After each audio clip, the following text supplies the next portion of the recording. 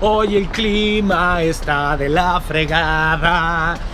Hace frío y está lloviendo mucho. Viajeros, el clima no acompaña, pero hoy tengo una visita al lugar más famoso y visitado de Moscú. Y ahora sí vamos a tener una visita con guía y todo para que no se pierdan las explicaciones. Y es el famosísimo Kremlin y la Plaza Roja. Espero que el clima mejore por lo menos un poco o que este paraguas no se me rompa. ¡Vámonos!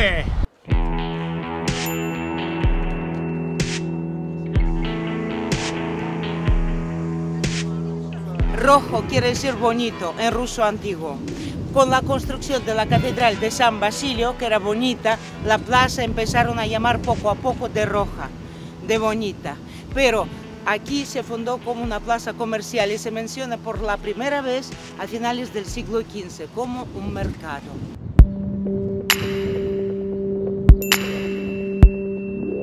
Kremlin significa fortaleza, ciudad amurallada y adentro se encierra una serie de edificios de importancia histórica para Rusia. Aquí estuvo el poder político pues prácticamente durante toda la historia del país, incluyendo la Unión Soviética, en algunos lapsos no fue así, pero bueno, se puede visitar, la, la, está abierto a los visitantes ciertos lugares. Aquí adentro trabaja Vladimir Putin, no vive aquí, pero aquí adentro trabaja y también está la catedral donde se coronaba a los ares y hay muchos lugares de importancia.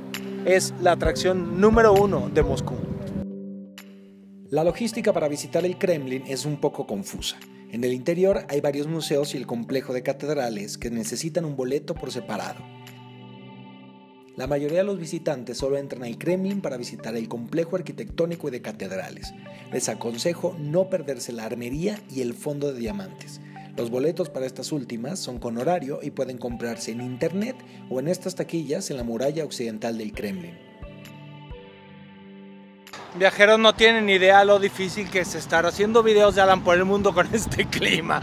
Miren, empezamos la visita detrás de mí. Está la tumba del soldado desconocido, dedicada a todos los soldados caídos durante la Segunda Guerra Mundial. Y cada hora hay cambio de guardia por si la quieren ver. Está la flama eterna, Aquí al lado de la tumba del soldado desconocido están esos bloques uh, con los nombres de las ciudades heroicas, las que fueron condecoradas como ciudades con esa condecoración más importante en la época soviética y ahora en Rusia, la estrella de oro. Ahí está la tierra de esas ciudades como Leningrado, Kiev, Minsk, Stalingrado y otras. Nosotros estamos entrando en el Kremlin uh, por un puente el que fue construido en el siglo XVI y para defender este puente como no no era el puente levadizo, pues construyeron esa torre la que está aquí. Uh, todos los puentes, todas las entradas, que eran cinco, eran puentes levadizos uh, y uh, de madera, porque el Kremlin, como un buen castillo, como una buena fortaleza, estaba defendido por el agua. Ya estamos adentro del Kremlin. Este lugar originalmente hace muchos años solo tenía una hectárea de tamaño. Ahora tiene 28 hectáreas, lo que quiere decir que es muy grande, muy grande. Este edificio por aquí fue construido por órdenes de Pedro el Grande y este de por acá, que es del siglo XX, fue construido en la época soviética. Aquí hay un teatro y todo y tienen eh, hasta el ballet del Kremlin y tiene cuatro pisos hacia abajo y fue creado para los congresos del Partido Comunista. Miren este edificio aquí detrás de estos dos chinos, este de acá. Ahí es donde trabaja Vladimir Putin, es su oficina no vive ahí, vive en una casa de campo, pero ahí trabaja. Miren este enorme, gigantesco cañón, pesa 40 toneladas de bronce. No se sabe si disparó alguna vez, se cree que no, se cree que sí. Estaba originalmente ubicado en la Plaza Roja para atemorizar al enemigo. Y este es del finales del siglo XVI y me voy a mover porque aquí como la gente se toma fotos con esta cosa está muy bonita para no estorbar. Ya vimos el cañón más grande del mundo y les presento la campana más grande del mundo, pesa 202 toneladas de bronce. Aunque la campana nunca sirvió porque se rompió cuando la estaban haciendo, entonces está muy pesada, pero sí se pensaba subir un campanario y toda la cosa. Por lo menos eso me cuenta la guía de allá atrás. Y llegamos a la zona de las catedrales. traigo muy buen humor hoy. Oigan, hay tres catedrales dentro del Kremlin. La gente de religión católica, eh, las catedrales son distintas a las ortodoxas, o por lo menos el nombre. Digamos que aquí la catedral es una iglesia de importancia, pero no son como de esa magnitud como las católicas. Por lo tanto puede haber muchas catedrales juntas como en este caso. Las catedrales funcionan como tal, tienen su fin religioso, aunque la religión estaba prohibida en la Unión Soviética, no, las tiraron, siguen en pie, pero ahora funcionan más bien como museos, aunque de repente sí hay misa. Está empezando a llover, entonces los invito, los invito a entrar, porque en esta de aquí, aquí, aquí se coronaban a los ares.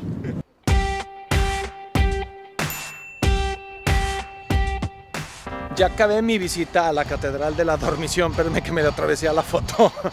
Bueno, así se llama la Catedral de la Dormición y no porque precisamente cuando les expliquen se van a dormir, sino porque se cree en la religión ortodoxa que la Virgen no murió, sino que se durmió y ascendió al cielo. Pero bueno, aquí se coronaron a todos, absolutamente todos los ares que ha tenido Rusia y también se han celebrado algunas bodas y bautizos importantes de los ares. No se pueden tomar fotos adentro, pero hice unos videos piratas, me regañaron y casi me corren, pero aquí se los tengo.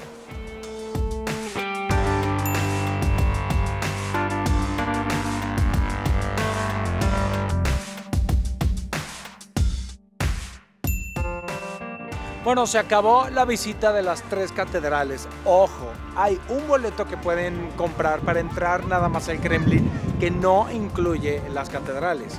Pero hay otro que sí incluye entrar. Yo aconsejo entrar porque aunque no se pueden tomar fotos ni video, son muy bonitas e históricamente son muy interesantes. Esta en particular tiene las tumbas de varios de los zares y emperadores rusos y eh, todas tienen su, todas tienen lo suyo. Además son patrimonio de la humanidad. Voy a aprovechar que tengo un ratito libre para ver qué tal está la fila para entrar a ver a Lenin. Eh, no siempre se puede ver y no a todas horas, más o menos desde las 10 de la mañana hasta la 1. Ah, mira, no está tan grave la fila. Y este es gratis, solamente no pueden pasar con mochilas y están prohibidísimas las fotos. Pero eh, no todos los días se puede. Hoy está bastante relajado, entonces vamos a aprovechar y les cuento. Ya vi a otro líder comunista que fue Ho Chi Minh en Vietnam, que si no han visto mis videos de Vietnam se los dejo aquí. Lenin era el que hizo la revolución de 1917, eso se sabe, ¿no? En 1924 murió, falleció.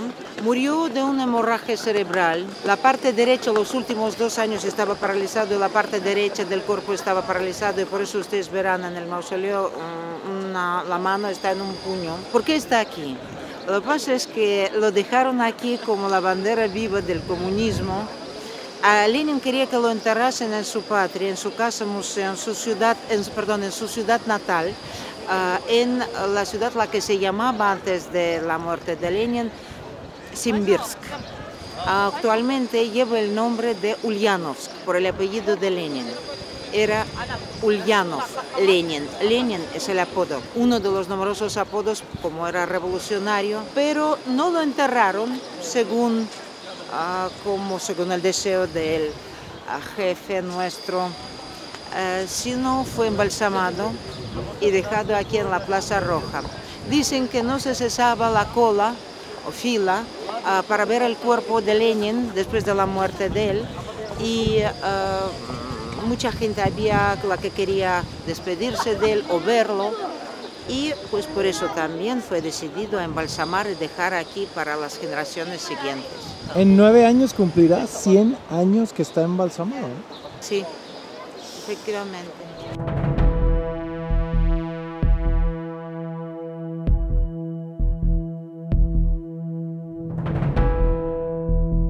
Pues ya lo vi, está muy impactante eh, lo ves de muy cerca y es pues una momia, tiene este un aspecto como un poco falso, pero ya van a ser 100 años que está Lenin ahí embalsamado, hay que entrar sin detenerse y vas alrededor de él y hace mucho frío adentro porque es prácticamente un refrigerador. Aquí también hay otros líderes comunistas que están enterrados porque durante un tiempo Stalin también estaba embalsamado junto a Lenin, pero solo duró 8 años.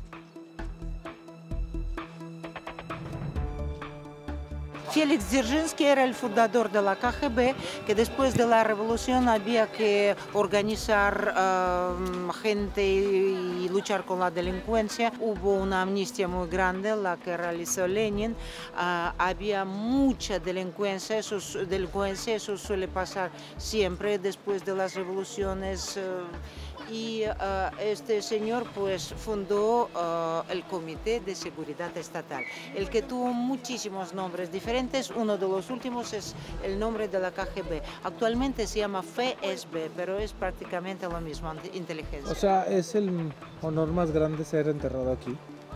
Sí, sí. A partir de los finales de los 80 ya no entierran, o sea, hubo una prohibición, ya no entierran en la Plaza Roja, por eso Yeltsin está en otro cementerio. Aquí también se encuentra la tumba del que quizá es el personaje más controversial de la era soviética, Joseph Stalin. Viajeros, ahora vamos camino a la armería. No dejan tomar fotos ni video, pero entro, salgo y les cuento. La armería, qué cosa, es una verdadera lástima que no dejen tomar fotos ni video porque es espectacular. Están la ropa de los ares, los vestidos de esas mujeres así, todos con hilos de plata. Es, o sea, muy, muy, muy, muy impresionante, no, no poco. Es joyas y joyas y joyas y coronas y coronas y pieles y pieles y huevos Fabergé de verdad, si vienen al Kremlin, fórmense temprano para que entren a este lugar o traten de conseguir los boletos a través del concierge de Travel Pass o a través del concierge de su hotel porque tienen que venir. Es top, top, top, top, top. Me encantó. Pues por ahí se entra al fondo de diamantes. Una cosa demasiado espectacular. Ahí oro, oro, oro, muchos diamantes, muchísimos diamantes, pero para mí lo más, lo que más me impresionó fueron las joyas de los Ares. No está permitido grabar ni tomar ninguna foto, pero la corona de Catalina la Grande es una cosa muy exagerada y espectacular y me encantó. O sea, se te cae la baba y una fortuna allá adentro. No se lo pierdan, esto está muy, muy bueno. Pues qué bonito es lo bonito, qué bonito es el Kremlin y sí, tienen que venir si vienen a Moscú. Me encantó, o sea, sí está bien padre. Hay que dedicarle todo el día, de preferencia, porque hay muchas cosas que ver y entonces pueden tomarse sus breaks. Y como todos están los boletos por separado y algunos tienen horario, organícense para que les dé tiempo de ir a un lugar y luego echarse un break o comer algo, cosa que no hice yo. Entonces son como las 5 de la tarde y no he comido. Hay muchísimas cosas de interés, sobre todo eh, de interés histórico y me encantó. Por algo es la número uno. Alguien se está riendo aquí atrás de mí. Aquí detrás mío se encuentra el que es el símbolo de la ciudad y probablemente de todo el país. Es la Catedral de San Basilio, llamada por una de mis primas como la Catedral de Candy Crush, lo cual es un poco ofensivo. Pero bueno, es muy famosa, esta es un icono esta catedral y voy a entrar para contarles más de la historia.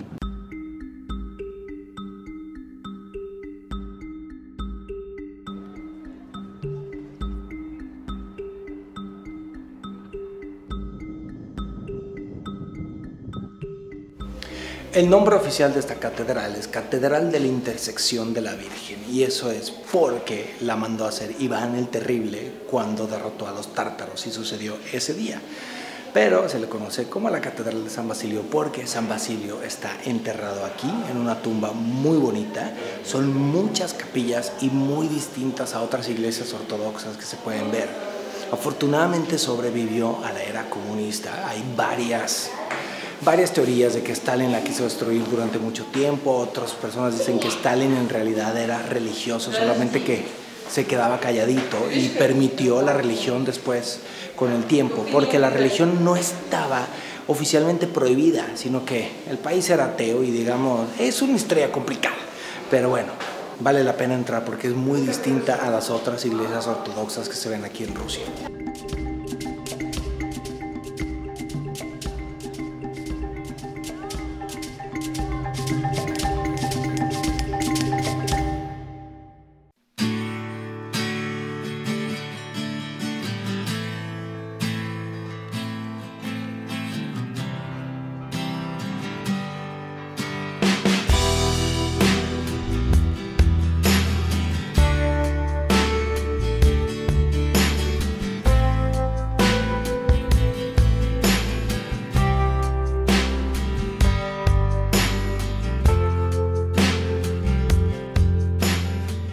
Esta es definitivamente una de las plazas más bellas que he conocido en toda mi vida. Es espectacular, de esas que puedes caminar y caminar sobre ellas y siempre ves algo distinto. La luz las cambia totalmente, la gente. Qué bonito lugar. Aquí despido este video, pero me quedan más días en Moscú y les quiero mostrar más cosas, pero por hoy estoy fundido, me duelen los pies muchísimo y me quiero ir a descansar. Pero los quiero mucho viajeros, gracias por todo.